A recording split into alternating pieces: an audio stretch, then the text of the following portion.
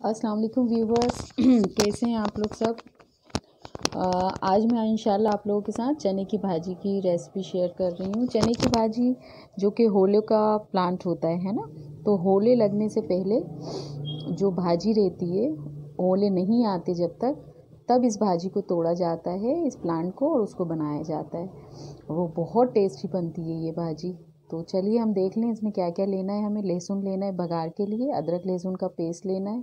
नमक लेना है और चिली पाउडर और चिली फ्लेक्स लेना है मिला के, ठीक है? और नींबू लेना है।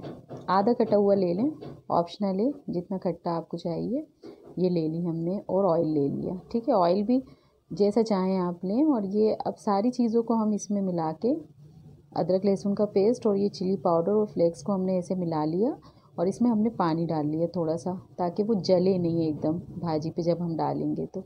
बस ये ऐसे करके हमने इसमें पानी डाल के इसका पेस्ट बना लिया और पेस्ट बना के हमने ये डाल दिया लहसुन बघार के लिए। अब जब ये लहसुन ब्राउन कलर पे आने लगे, जी, ये ब्राउन कलर का हो गया। बस अब इस लेवल पे जब ये आ जाए, इस पोजीशन पे तो हम इसमें फिर चने की भाजी डाल देंगे। धुली हुई जो हमारे पास रखी हुई है, अच्छे से हमने निथार ली थी, बस ये डलेगी।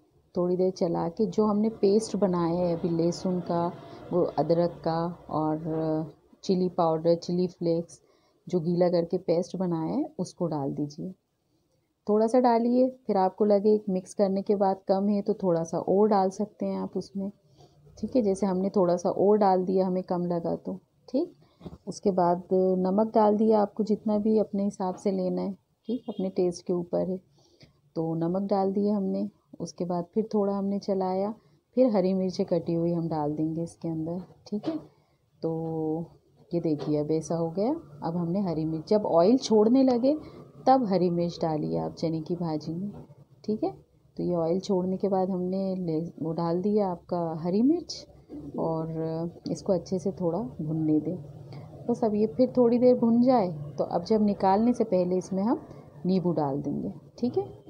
बस, ये देखिए आप, माशाल्लाह माशाल्लाह, ज़बरदस्त चने की भाजी। इसको आप मल्टीग्रेन रोटी से खाइएगा तो मज़ा आ जाएगा आपको इसके साथ। थोड़ी मोटी मोटी रोटी बनाइए आप। ये देखिए हमारी, हमने डिश आउट करके आपको दिखाया है। ये देखिए, ये बन गई हमारी चने की भाजी, माशाल्लाह। अब आप बताइएगा कैसी लगी। लाइक करिएगा, कमेंट करिएगा और शेयर भी करिएगा।